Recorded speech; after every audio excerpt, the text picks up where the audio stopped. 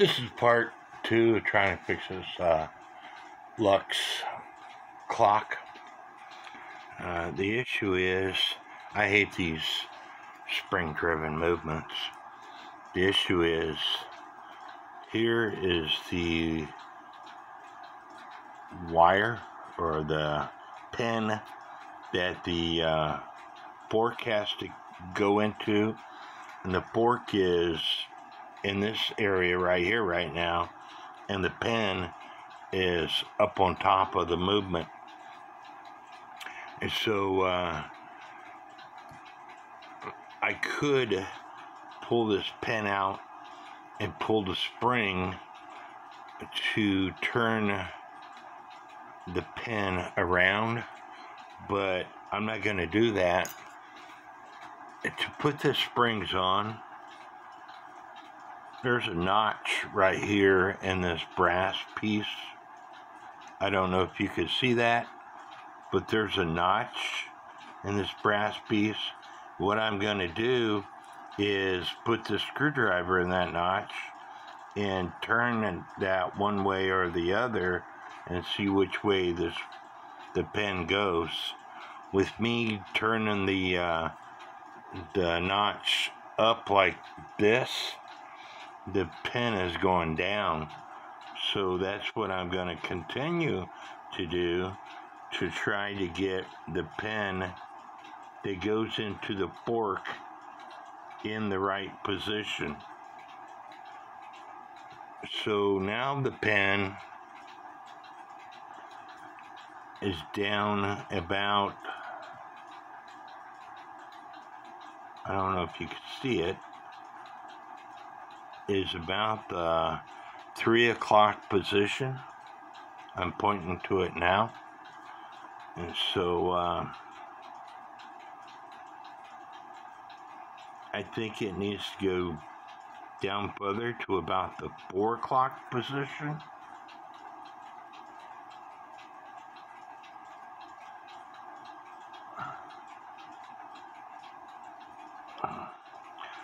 So now, um, I think it's in that position, about the four o'clock position, but it's hitting the uh, the fork itself.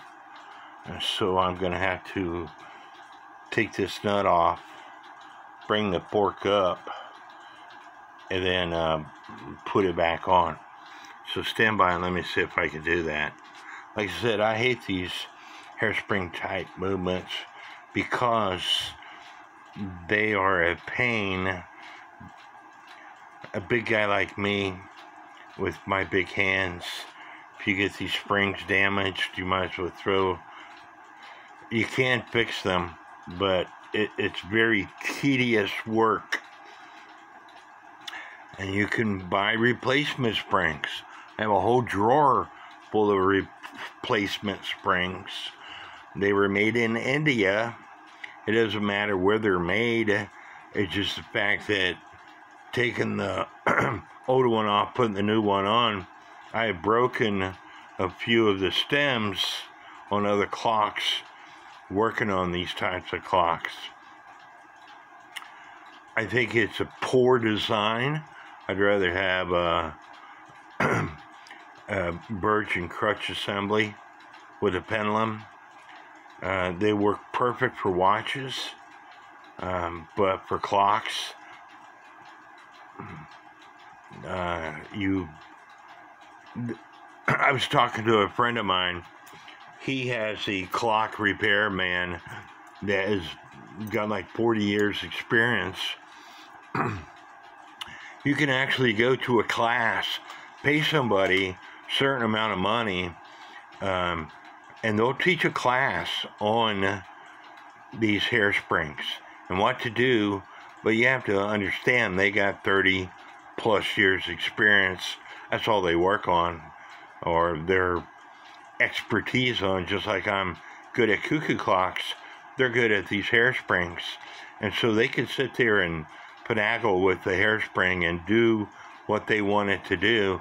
But if you're trying to repair a clock for the first time or for I've got a, a a few clocks underneath my belt with these hairsprings, but I'm no expert. I'm still a amateur when it comes to the hairspring movements, and I used to uh, work on pocket watches. Uh, that was many years ago when I had better eyesight.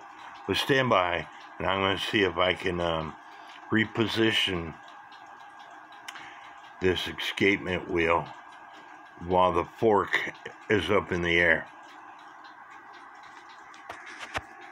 Here I got it taken away. Um, the issue with this clock was the pallet fork itself had shifted on the on the pivot. And so I had to figure out which way to push it down or push it up. But anyway it's uh, ticking away. And uh, it's time to put this movement back into the case.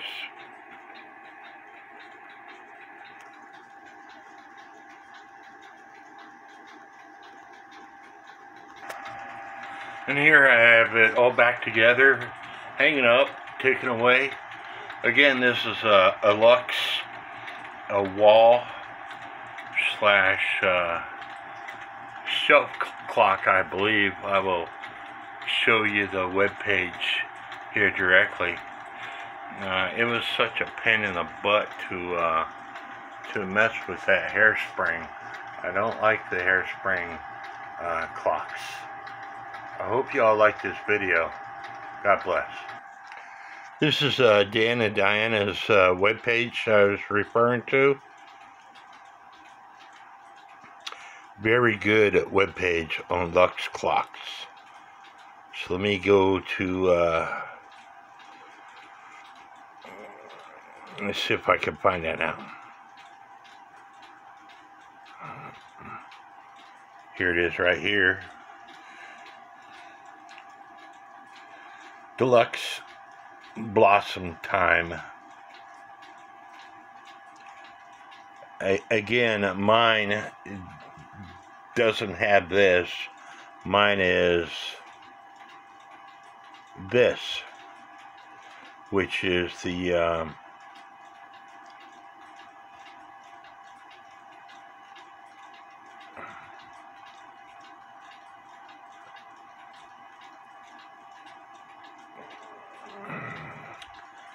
desk clock, maybe, uh, or sorry, shelf clock. Made in 1928, Blossom Time. Again, I hope y'all like this video. God bless.